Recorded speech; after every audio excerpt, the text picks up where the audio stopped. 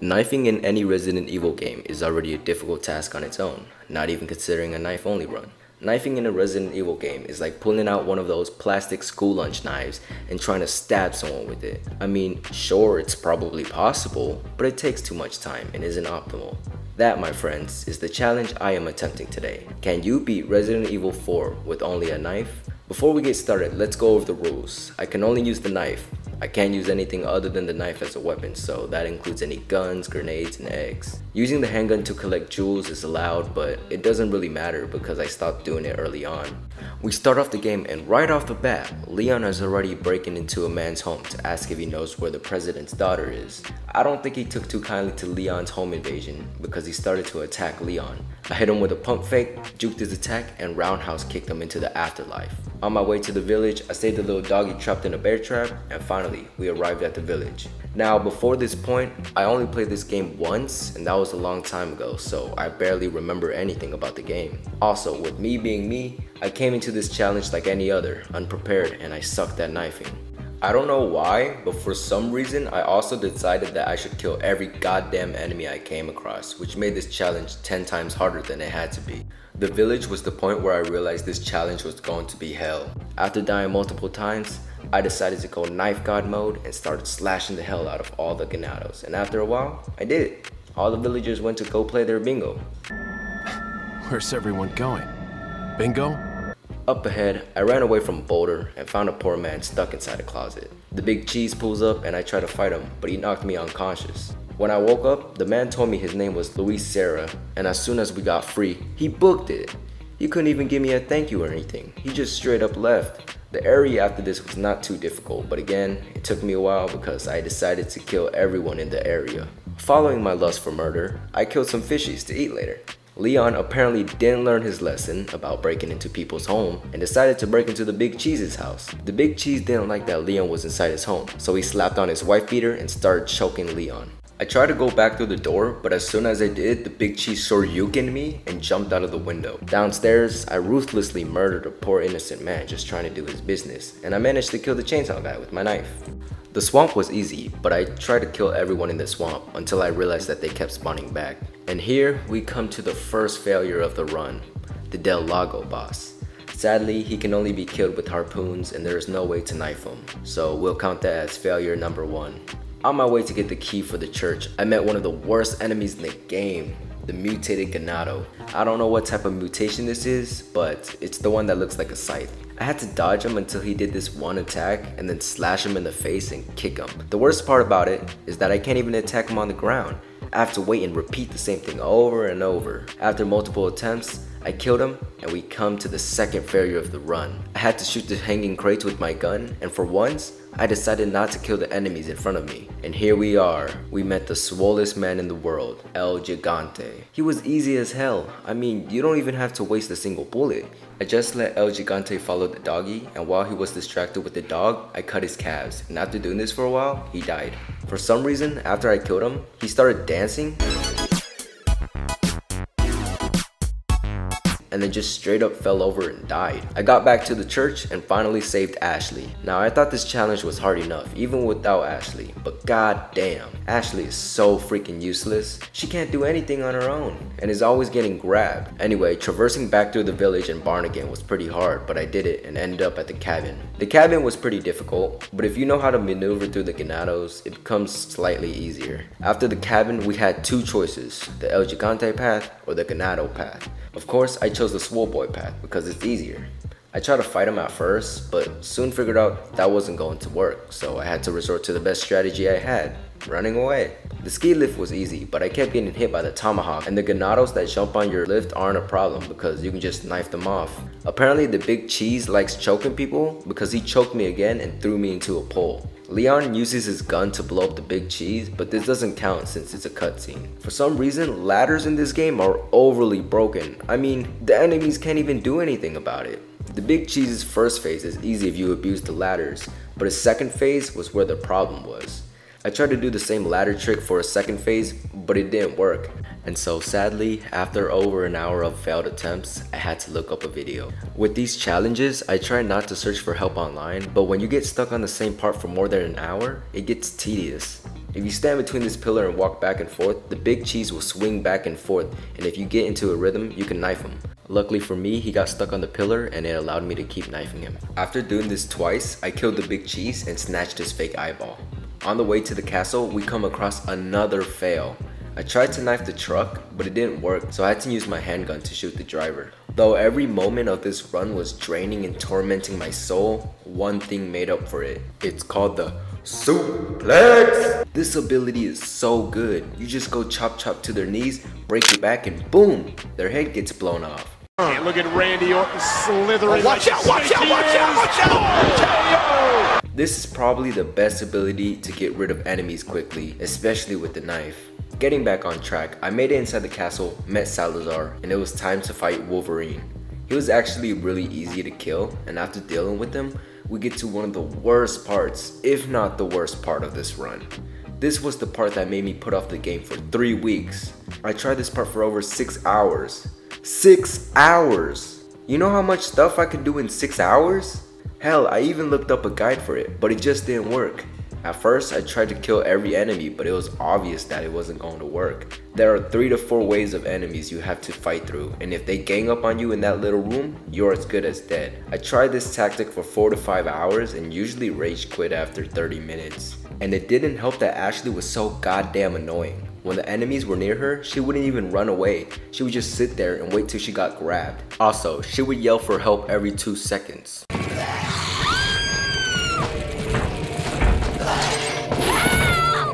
Got so mad at her that at points I would even kill her on purpose. She was one of the factors that made this part so hard.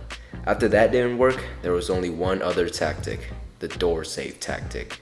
When the prompt to open a door is green, it creates a checkpoint so anyone you kill or any items you collect will be saved if you exit and enter back. This saves you a lot of time and you don't have to kill or collect everything again.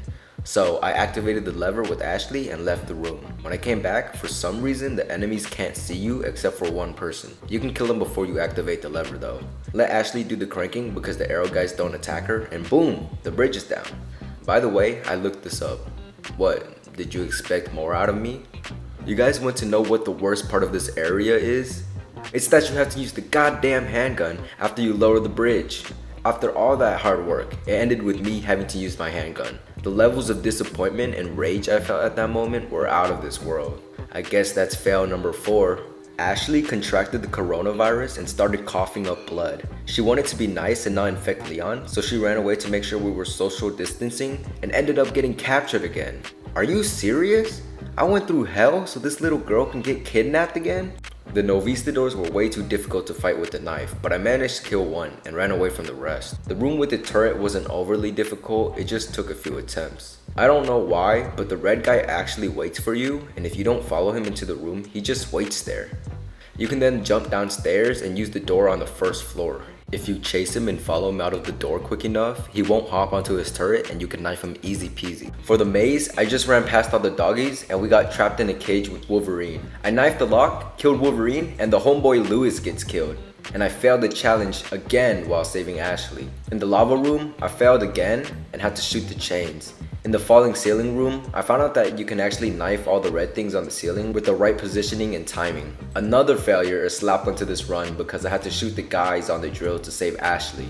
For the knights guarding the king's grail, I knifed off their helmets but I had to kill them with flash grenades, so that's another fail. I could have killed them knife only, but that would take way too long and there was no way in hell I was going to fight 3 scythe mutated knights. You guys won't believe this, but ladies and gentlemen, we come to yet another failure. That's right, I tried to knife the Novistadors out of the air, but their hitbox is so broken, so I just shot them. I tried not to shoot them, but they're too annoying, and it doesn't even matter because we had to shoot the chain to lower the bridge. Oh, and of course, Ashley gets kidnapped again. I failed once again in the clock tower because you can't knife the pegs. Finally, it's time to fight the twin Wolverines. Killing them wasn't too bad, it just took a long time. It took me 50 minutes in total to kill them, but that's only because I died a few times. Next, it was time to fight the rip-off alien. Now, this fight would have been easy if I had just waited until the elevator came and left. However, I didn't kill him on my first playthrough because I thought he was unkillable and wanted the achievement. So, since I was already doing this run, I decided to kill him with the knife and oh boy, that was a mistake. I had to keep running away from him and dodging his QTE. If he lands in front of you, you can attack him. If he lands next to you, you can attack him if you're quick enough. And if he lands behind you, keep running. You see how many things you gotta keep in mind? This whole fight was about focus and the most you can knife him after a QTE is 2 times. What the hell is 2 times gonna do? This fight was so damn difficult because after a while you start to lose focus and not pay attention to where he lands. I only beat him because I watched the guy beat him, but the guy beat him in 15 minutes. I attempted this fight for 2 hours, and when I beat Verdugo, it took me 30 minutes. After going through that traumatizing fight with Verdugo, I saved and exited the game, but the next time I opened Resident Evil 4, my progress got deleted and it sent me back to the water room. My save file had like 16 hours on it, and it reverted back to 6, so I lost a lot of progress. Luckily, after having played through those parts already, it was a breeze to get through and this time I skipped Verdugo and it only took me 2 hours. After this, we make our way to the two El Gigantes. One was even wearing a mask so he wouldn't contract COVID. How cute. This fight was honestly a joke. It's probably difficult if I fought both of them with the knife, but who knows. I dumped one into the lava and luckily for me, there was a ladder. I climbed up the ladder, waited until he shook it, jumped down, and started knifing his butthole and balls until he died. The Novistador part up ahead was pretty hard. I tried baiting them into the entrance hole and knifing them, which actually worked, but there was way too many of them and it felt like they kept spawning back. I just decided to book it and kick any Novistadors in my way, and surprisingly, this method worked. For the trap room right before the minecart, I had to use my handgun because the ceiling dropped down and crushed you before you got into knifing range. I failed at the minecart sections because you can't knife the lever. The minecart was pretty difficult only due to the fact that the Ganados can mutate into the Scythe Plaga. I thought I spent much longer on this section, but it only took me around 25 minutes, though I had to use all my health items on this section. For the lift, I voluntarily failed by shooting at the two archers. I tried this part without killing them, but they always two-shot me and almost never missed. I'm pretty sure you could kill them with the knife somehow, but it doesn't matter now. For the big baddie Salazar, I tried knifing the one-eyed tentacle thing. Because I'm stupid, I decided to knife the tentacle for an hour, and after dying, I tried out shooting it to see if it even dies. Turns out, it does no damage, and I just wasted an hour. So, I just killed Salazar with the handgun, and we're headed off for the island. The first part of the island was challenging with the machine gun guy, but after a bunch of trial and error, I managed to stun lock him on the ladder and kill him. I had to use my handgun on the Ganados behind the closing garage because I wasn't quick enough to get through. For the spiky regenerator, let it do the attack where it swings at you, slash its leg, and run past it. Keep doing this until its legs get blown off, and from there you can just knife it until it dies. I saved Ashley and got stuck in the security room because of the annoying archer. This part was hard, so I just tried to book it and leave Ashley, but to my surprise, a cutscene triggered and it brings Ashley to you anyway. In the Wrecking Ball room, I just told Ashley to wait on top and constantly dodge the mob of angry Ganados until the doorway was free. The tractor part was just horrible. The first wave isn't too hard to handle, but the second wave is straight cancer. The enemies take more hits to kill and can mutate. To top it off, you have to use the handgun to shoot the trucks. I spent like 2 to 3 hours on this part and only beat it by luck. After this part, Ashley gets kidnapped again, and it's time to fight this creepy crawly. You have to use the handgun to shoot the switches to open the door, but otherwise from that, you can kill it with the knife. His first phase is easy, just walk to his left or right when he attacks and knife it. The second phase is pretty easy too, just wait until it goes underground and when it comes up, slice it with the knife two times. After repeatedly doing this, it will die. I'm not gonna go over Krauser too much because, come on, we all obviously know he's a joke with the knife. The area after Krauser with all those soldier ganados was not too bad except for the area with the three turrets. This part wasn't super bad, but it took a long time because the turrets did too much damage and I killed everyone in the area. Sadly, Mike got blown up and I paid my respects to him. Because of the traumatizing and abusive past Leon had with the big cheese, the ways of the wife beater possessed Leon and it made him choke Ada. Up ahead, I saved Ashley once again, removed the parasites from our bodies, and it was time to fight the mastermind behind this whole incident, Saddler. This fight was annoying as hell. I spent 3 hours on it before I could kill him. His second phase is easy, but his first is so hard. You have to get rid of all the eyeballs on his body, but the ones on his front right leg and rear left leg sit so high up that they're hard to reach. You practically have to be standing inside his leg to reach them. It also doesn't help that behind him, there is a plaga that will attack you. I managed to get lucky and destroy the eyeball behind him, and from here you can stun lock him. If you walk to the right towards Saddler's left leg and stop just before you actually go in between his legs, you can actually knife him pretty easily. Just pull out your knife and look up and left while slashing at his eyeball. If you do this properly, you can keep Saddler in a stun lock, though you might have to experiment with the positioning at first. I messed up the stun lock and almost died. I came into this fight with only 3 heals, so I had to be extremely cautious. Ada threw down a rocket launcher, but I was like, nah fam, I got this. So I killed Saddler with a knife, grabbed Ashley, and we rode off into the sunset on a jet ski. So, can you beat Resident Evil 4 with only a knife? No, you can't. This challenge was honestly a waste of time and effort. I spent more than 30 hours on this challenge alone, and so far, it's been the hardest challenge I have attempted. I wouldn't recommend you do this challenge, but hey, if you want to do it and put yourself through torture, be my guest. I know it sounds like I'm just complaining a lot in the video, but I really do hope you guys enjoyed the video. Hit the like and subscribe button if you want, and I will see you all in the next video. Bye.